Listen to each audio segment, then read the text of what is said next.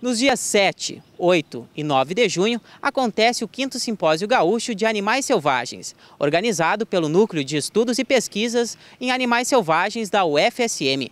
A programação é composta por palestras, mostra fotográfica, minicursos e apresentação de trabalhos científicos. Para outras informações, acesse o site ufsm.br/sgas ou ligue para o telefone 3220 8072. Reinaldo Guidolin, repórter TV Campos.